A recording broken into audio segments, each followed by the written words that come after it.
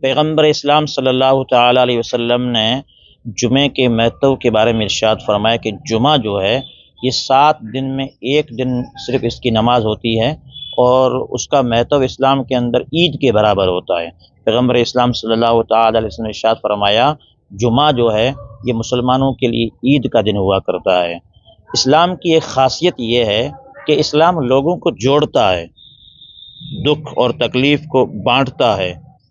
جمعہ کے دن سارے کے سارے مسلمان ایک جگہ اکٹھے ہوتے ہیں اور پھر ایک دوسرے سے ملاقات کرتے ہیں، ایک دوسرے کے دکھ درد کو شیئر کرتے ہیں اور پھر اجتماعی طریقے سے سارے لوگ ایک جگہ اکٹھے ہو کر کے رب کی بارگاہ میں دعا کرتے ہیں۔